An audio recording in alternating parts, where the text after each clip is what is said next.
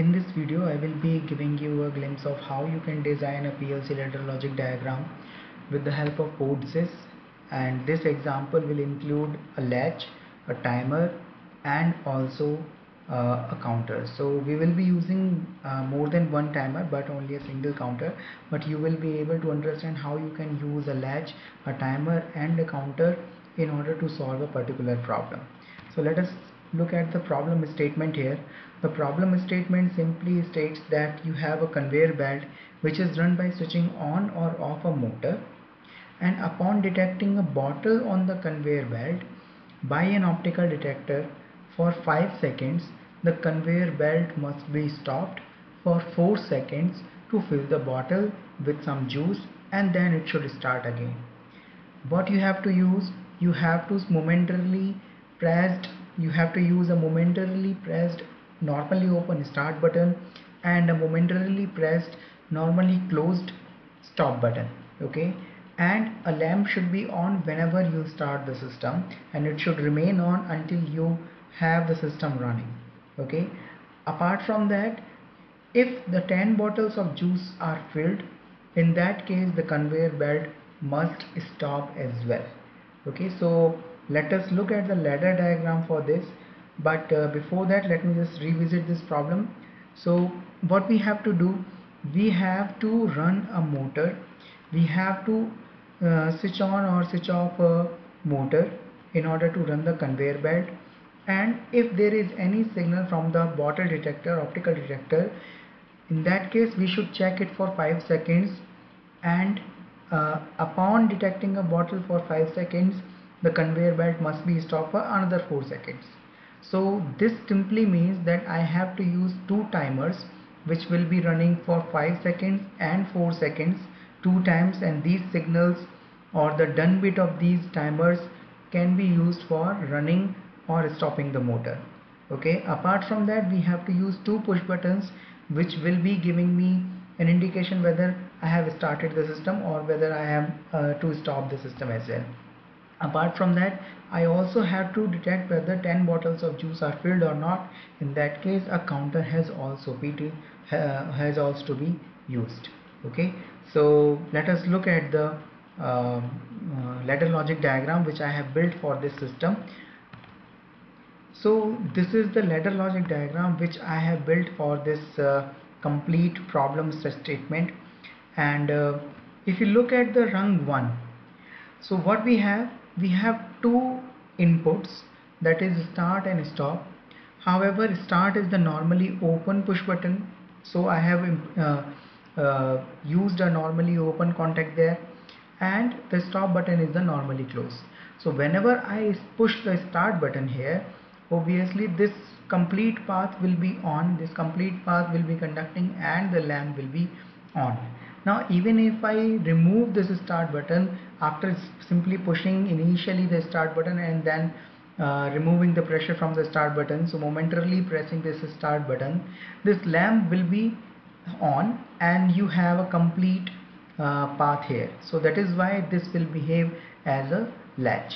Okay? So now this is a very basic example that how you can implement a latch in PLC I'm not explaining it in very detail but uh, if you have gone through other videos or if you have some basic knowledge of PLC in that case you can clearly see that this is a latch system. Okay you momentarily press the start button it will remain on. The stop button is normally closed so if it is zero in that case the conduction path will be there. It will uh, turn on this lamp and this turning on the lamp will make sure that you have an alternative path here in order to keep this lamp on. So this will behave as a latch and if this stop button is now momentarily pressed in that case this path conduction path will be not there and this lamp will be off. So you have to you have this start button to start the system to uh, uh, let this lamp and uh, you have the stop button in order to uh, switch off this lamp. Further as I told you that I have to use two timers. So first I need to detect the bottle detector isn't it that means if I have any signal from the bottle detector in that case I should be initializing the timer. So this timer will start timing for 5 seconds if you detect the presence of the bottle. Okay? That means here if this lamp is on that means the system is started your timer start thing is there. That means this is the signal from uh, your bottle detector if this is on this is normally open. So if you have a signal high signal from your bottle, bottle detector in that case this path will be closed. And this is another timer's uh, uh, done bit. So I'll tell you about this later but initially say assume it to be 0 initially it will definitely be 0 so this is 0 this is 0 so this is closed. If I have a signal here so this will also be closed. This is normally open. So if I have a on signal here. If I turn it on in that case this conduction path will be closed and you have the input to your timer 1 so if this T on timer this is a T on timer timer on okay? So if I have this T on timer here if I have a conduction path here as soon as I detect the presence of the bottle this will start timing. Up to what seconds? Up to 5 seconds. I have maintained the preset value as 5 seconds here. Now if I detect this bottle and start timing to for the 5 seconds in that case this Q bit will initially be low. However this Q bit or I can also say this to be as done bit. So this done bit or the Q bit will be initially low but as soon as the 5 seconds time has been elapsed this will become high. Okay initially it will be 0 but after 5 seconds of detecting the presence of the bottle this will become high. Okay? Now if there is a high signal here obviously the same signal is being fed to the enabling bit of timer 2 that means after detecting a bottle for 5 seconds which is given in the problem statement I must stop the conveyor belt for certain amount of time. What is that time? That is given as 4 seconds as in the problem statement. Okay? So for 4 seconds I am using this timer 2 in order to make sure that the motor is stopped okay? So the done bit of timer 1 that means after elapsing of 5 seconds after elapsing of 5 seconds in the presence of bottle I am turning on this timer and this Q bit will become high as soon as the 4 seconds time delay or the 4 seconds time has been elapsed okay? Now the combination of these two bits t on 1 q that means timer 1's uh, q and timers 2 Q bit can make sure whether I can uh, I will be running the motor or I will be stopping the motor. Now if you see timer 1 Q bit this is enabling your uh, t on 2 okay? That means timer 2 but the same t on 1 q in nc mode that means in the normally closed mode is given in the last ring uh, in the last rung okay? So this is the counter but uh, I will uh, I will be discussing about this counter in uh, at a later stage. So initially this will be 0 and this this will be a closed path here. Okay? This is NC and this is also NC so when this bit is low when this timer once q bit is low that it is in that uh, in which case it is timing or even if it is not timing or in that case if it is uh, the conveyor belt is moving in that case what will happen? This timer 1 Q bit will be 0 and that is why the motor will be running. So obviously if lamp is lit if uh, uh, the timer once Q bit is low in that case and counters uh, q bit is also low in that case motor will be running. Okay? But as soon as this bit becomes high after 5 seconds so what it will do? It if it is high then this t on 1q will be high and that is why the conduction path will be broken and that is why the motor will stop. Okay? Now if motor is stopped simultaneously what is happening? I am keeping a track of 4 seconds time delay. Okay? By using timer 2 as uh, we discussed earlier. So this timer 2 t uh, I have given the preset uh, time as uh, 4 seconds. So up to 4 seconds this timer 2 will count and after 4 seconds this bit will become high. Okay? Now you can see that initially that this bit was 0 but as soon as it becomes high after 4 seconds of time delay that means the juice has been filled what is happening? This bit will become 0 okay? Sorry this will this bit will become 1 and that is why this conduction path will be broken and as soon as you do not apply an input signal to your timer the Q bit will also become low. And as soon as this Q bit becomes low this timer 1Q will also become conducting. I mean this path will also be conducting because this is in NC mode. And that is why the motor will be again running. Okay? Now this timer this rung 3 is nothing but to ensure that you have to fill the bottle and at that particular time the motor is stopped. And that is why the conveyor belt is not moving. Okay? So this rung 3 is taking care of that thing. Uh, I will tell you what is this uh, parallel branch uh, uh connected across this timer start button. Uh, as I will show you the simulation in the uh, CodeSys software. So what this counter is doing okay? So this counter is keeping track of how many bottles have been filled. Okay? So this is a down counter in which I have loaded the previous uh, the preset value as 10 okay? I have to count the 10 bottles. So that is why this 10 bottle these 10 bottles are counted. Okay? I have loaded them. But when they will be loaded? As soon as I push the start button so this as soon as I get a high pulse here the load will be uh, this load signal will ensure that 10 value will be given into the preset of down counter here. And when it will be decrementing that count whenever I have a positive going edge trigger at this input CD okay?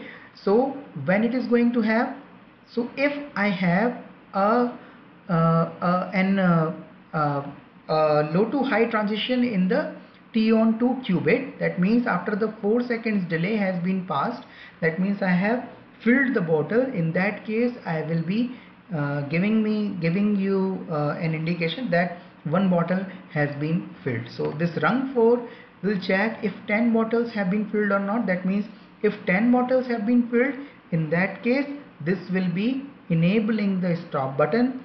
That means I will be giving a high input to the stop button and if it is high in that case this path will be closed.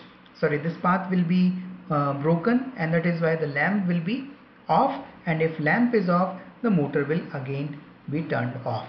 Okay? Sim uh, simultaneously both of these timers will also be turned off because these are connected in uh, series with each uh, in each of these rungs rung 2 and rung 3 as well. So so this rung 5 makes sure that uh, when you will be running the motor or when you will be stopping the motor. Okay I hope uh, uh, I have discussed this question. I mean how this ladder logic is behaving. A part of that uh, apart from that I will just show you the simulation in the CodeSys software as well. So I will just go in the CodeSys software and uh, so this is the ladder logic diagram. So here is the code of uh, the same thing which I was just discussing earlier. And uh, if you just look at here that uh, uh, what I have done in the visualization window of CodeSys I have created two push buttons start and stop. And this is the simple bottle timer that is an uh, a simulated environment in which I am giving the signal from bottle ejector using this uh, toggle switch. And I have two indicators here. That is one is the lamp and another indicator that means a lamp indicator again just to make sure just to give you a feeling that some motor is running and I can generate some signal. So that is it. And if you uh, if you just look at it here that uh, if I want to simulate it I will just uh, go in online. I will log in. And uh, since I have already running the code earlier as well so it didn't ask me whether I should go with the download or online change uh, if that option comes just go with download and uh, I mean login in the PLC with download. And uh, uh, so this is already running okay? So if I push the start button you just see what will happen. If I put the push the start button the motor is start the lamp is started first because as soon as I put the push the start button the stop button was normally closed. So that is why this circuit is behaving as a latch. I was explaining it earlier to you. So lamp is completely open now. And the motor is also running because the last rung is completely uh, closed. So this is a normally closed thing. Timer 1 q bit is 0 initially. Timer 2 sorry counters q bit is also 0 so these all are 0 initially and that is why the motor is also running. So you have a, a high signal here okay? And uh, apart from that you can see that the timers both of these timers are not running. But as soon as I push this bottle timer that means if I'm simulating the uh, bottle detector signal so this timer start will be on and you just see what happens so as soon as I push this start button sorry this uh, bottle timer button so this will count up to 5 seconds and then motor has been turned off. Okay so this is again running. So after 5 seconds the motor will be turned off for 4 seconds. You just see this thing and it will keep repeating and repeating. Okay so even if I just uh, switch off this now so what will happen? It will start uh, it will it will stop the motor and uh, uh it was uh, counting for 4 seconds and then it again started the motor. You just see it again what happens now. So what is happening? Some signal is there. It counted for 5 seconds and then for 4 seconds and uh, up to that time the motor was off and then the motor got turned on. Okay? Also you just see it has been done for uh, 6 times sorry 4 times so that is why the number of bottles remaining are 6 so initially it was 10 now it has only been 6 and uh, as soon as I just do this for another 5 seconds so what will happen? Just see for 5 seconds the motor is running. For another 4 seconds the motor is turned off. And uh, I have switched off this thing. So the number of bottles are also decreased. Okay? I'll just complete it uh, also yeah uh, one more thing. This I have connected this parallel branch here across this timer start thing. Now one thing you should note here that uh, suppose if this bottle timer is on this uh, 5 seconds time has been elapsed. And now suppose I switch off this thing. So what will happen? If I simply switch it off and if I do not have this path what will happen? This path will be broken isn't it? This path will be broken. If I just push this button to off state this path will become broken even if this timer is running. Okay? Now as soon as this path becomes broken in that case what will happen? The q bit of this timer on 1q will be low. Okay even after detecting the presence of bottle for 5 seconds. Okay? So what will happen? This will also become low. Initially the I mean after det detecting the bottle for 5 seconds the conveyor belt has stopped it has stopped moving. But as soon as I just push this bottle timer uh, I mean if there is no signal from the bottle timer in that case what will happen? This timer start signal will be broken. I mean it will be 0 and this line will be broken and this Q bit will become low. As soon as this Q bit will become low this also will become low. Okay? And the motor will start running. This motor will start running. Okay? So this will fail our logic that for next 4 seconds after detecting the presence of bottle for 5 seconds the motor should have been stopped now if I connect this path here what will happen this will make sure that for the complete 4 seconds duration this path will remain high.